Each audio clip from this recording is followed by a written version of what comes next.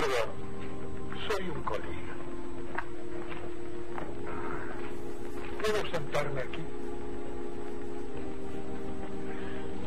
Hoy me fue muy mal por la calle.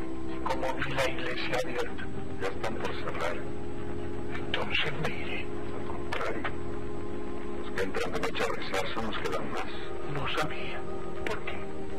Son los que han planeado algo muy importante que a última hora se acuerdan que necesitan ayuda de... Los grandes negocios no se hacen de día, pero se planean de noche. Además, además que hay muchas cosas importantes que no son negocios. El amor, el juego, el éxito, claro.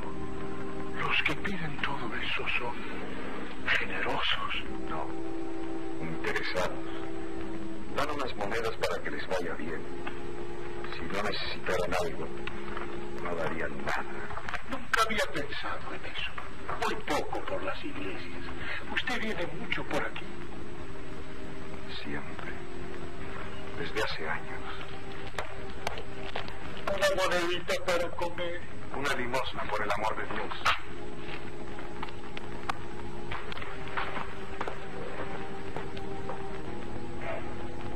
no me? Porque no sabe pedir. No vio que pobre mendiga vestida. El hambre no impresiona a los desgraciados. En cambio, confían todo en Dios. Para un pobre que se muere de hambre, Dios se lo pague. No me dijo que el hambre no resultaba. Con este sí. Los ricos tiemblan cuando se les habla de pobreza. Los tiempos están muy difíciles para los que tienen dinero. ¿Y qué puede venir a pedir un señor tan bien puesto? Alguna reunión de directorio complicada o, o algo que le escondió al inspector de réditos. ¿Sabe una cosa? Recién me doy cuenta lo que hay que saber en nuestro oficio. Con razón me matan. No se aflija. Venga seguido y aprenderá. El caballero que usted esperaba está en el. Perfectamente. Dígale al señor Richardson que pase. ¿Richardson? Sí, quédate. Delante tuyo se va a representar una pequeña comedia, corta pero muy moral, cuyo título podría ser, por ejemplo, El que la hace la paga. El señor Richardson. Que pase.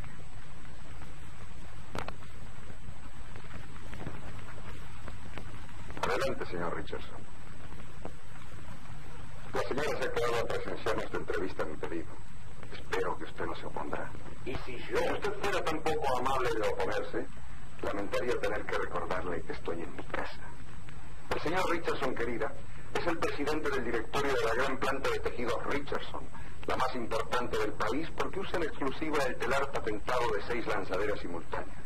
Patente que naturalmente lleva también el nombre de Richardson. Terminemos. ¿Para qué me he hecho venir aquí? Muy sencillo. Me interesará sin duda saber que he estado trabajando toda la noche en preparar esto. Es la nueva organización de la planta de tejidos Richardson Sociedad Anónima.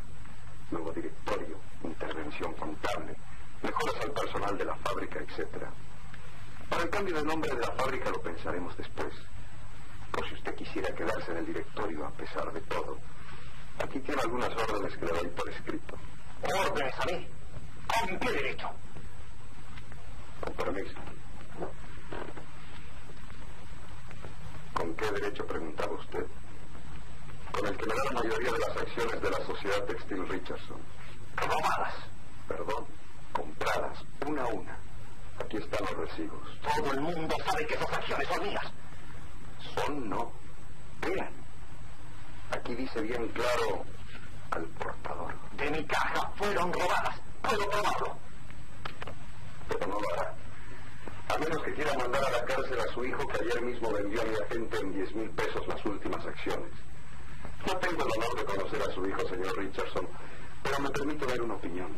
Me parece que juega mucho. Es usted un miserable.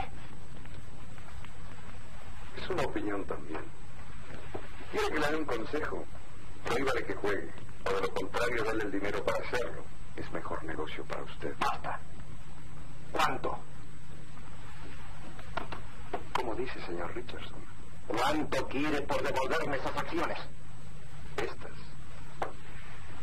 No hay dinero en el mundo que las compre. Es como si usted me preguntara cuánto vale una vida nueva.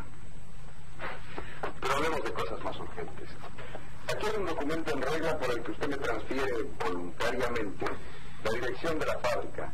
Es para evitar preguntas indiscretas en la asamblea de accionistas. Créame que lo hago por su bien. No firmaré. ¿Quiere estudiarlo bien antes? Es razonable. Toma el documento y me lo manda firmado antes de la noche. Me interesa que todo este cambio se haga lo antes posible. Mi nueva vida industrial es un regalo que pienso hacerle a la señora. Si usted no se opone.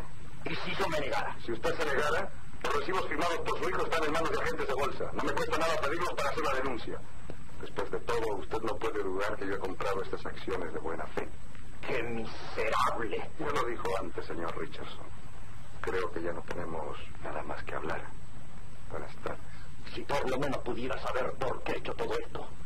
Ya veo que tiene muy mala memoria, señor Richardson. Hace 20 años prometió ayudarme. ¿A usted? A mí y a otra persona que ya no existe. Después, con tantas ocupaciones, olvidó hacerlo. Afortunadamente aquí estoy yo para reparar el olvido y para aligerarlo de sus ocupaciones. Debía agradecerle.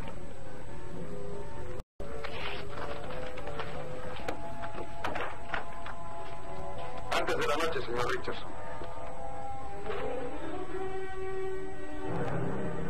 No se vaya a olvidar otra vez.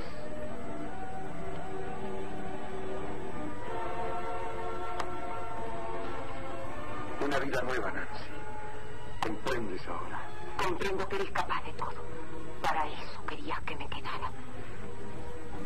Algún día te podré explicar por qué hice lo que acabo de hacer. ¿Crees que no sé por qué has arruinado a ese hombre? No puedes saberlo. Sí, lo sé. Para impedir que yo huyera de tu lado con su hijo.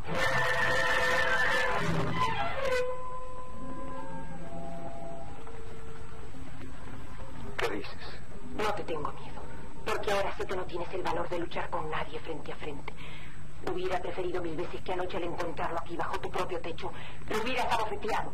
Pero no. Esa tal vez hubiera sido una prueba de amor. Y tú no sabes más que de venganza y de maldad. La ruina o la cárcel. Y el rival fuera de combate. Ese hombre que estaba aquí anoche era el hijo de Richardson. No digas que no lo sabes. Tú conoces todo lo malo que hay en el mundo y vences siempre, pero solo porque tienes en tus manos el dinero. Anoche me dijiste que era un pariente tuyo. Para protegerlo de ti. Tenía miedo por él. ¿Tanto te interesa ese hombre? Es un ladrón. No me importa. Si robó, robó por mí. No lo hizo por ti. Sí, y tú lo sabes. No es cierto. ¿Qué no es cierto? Aquí está el dinero. ¿Lo crees ahora? Y aunque no hubiera sido así, ya me dio más que lo que tú me has dado. Porque me quiere y me ha abierto los ojos. De manera que ibas a dejarme. Sí. Arriba están hechas las valijas. Si te hubiera sido a la hora de cierre, yo estaría lejos de aquí. No te creo. Te ciega tu vanidad de demonio. ¿Quieres convencerte?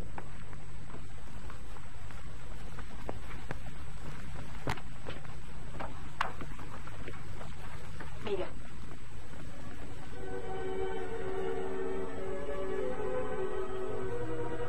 ¿Tú crees que serías feliz con ese hombre? No esperes que te diga que no. Siempre me has dicho que odias la mentira. Por lo menos has aprendido mucho a mi lado. ¿Qué harías tú en mi lugar? Hacerlo detener enseguida ya que tienes todo en tus manos. Hoy has ganado la partida. Otro día podrías perderla. ¿Qué haces que no te decides? Tienes razón. Señor. Baje las valijas de la señora. Sí, señor. Salido, llame un caballero que está allá afuera esperando al lado del nabo. Dígale que. Bien, señor.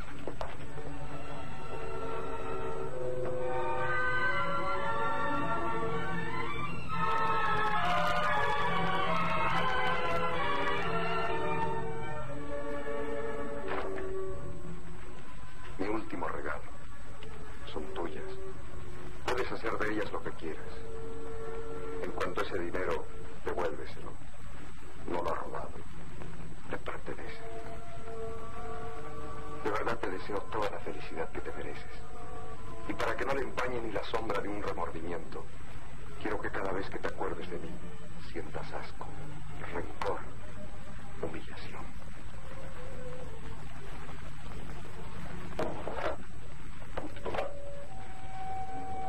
Quiero que sepas quién es el hombre al lado del cual pasaste los mejores años de tu vida. Abre esta caja. Ahí dentro encontrarás mi nombre.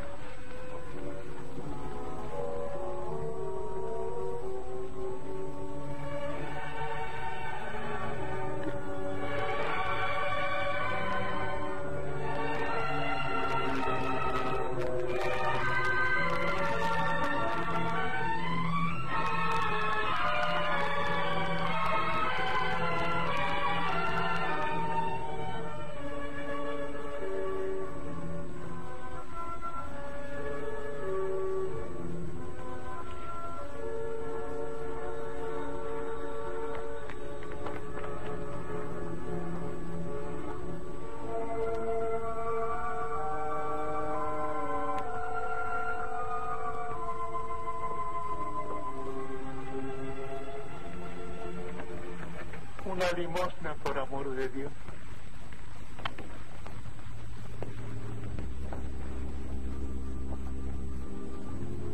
Una limosnita para un pobrecito muerto de hambre en el día de la Virgen. Hoy no pide, compañero. Hoy voy a tener que enseñar. Todos los días se aprende algo, Vareta. Yo creí que no vendría más. Me dijo que iba a ser una vida nueva. La vida nueva huyó de mi lado No sé por qué. ¿No le devolvió la sociedad todo lo que le debía? Sí. Pero me quitó lo único que realmente me importaba. ¿Por qué se lo dejó quitar? Cuando uno quiere algo, lo defiende.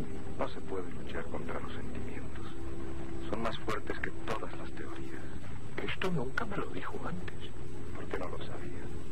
Ahora lo aprendí. Por eso está triste. Al contrario. Cumplí con mi conciencia. ¿Y eso alegra? No. Pero consuela. La verdadera riqueza está en dar, no en pedir. La primera vez que lo oigo decir. Mire la cara de toda esa gente que nos tira monedas. Se van sonriendo porque han comprado una esperanza. Con lo que les sobra. Después van adentro a pedirle a Dios lo que no tienen. Así es como debe ser. ¿No le parece? Creo que sí. ¿No ve? A veces usted también se equivoca.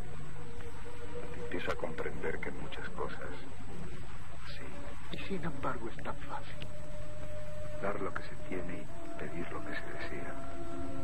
Es tan sencillo y no se me ocurrió antes. Tal vez tenga razón.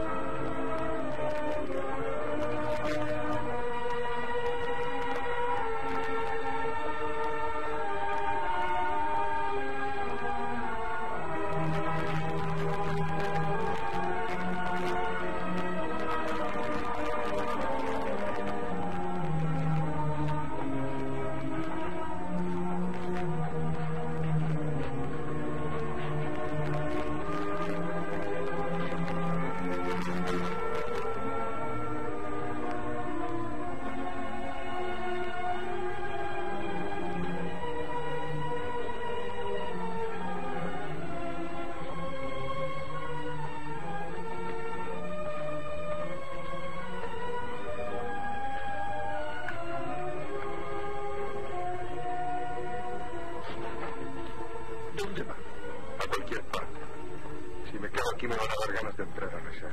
¿No puede acaso? Nunca lo hice. No se va. Quédese. Aunque sea para ayudarme a mí. Quédese.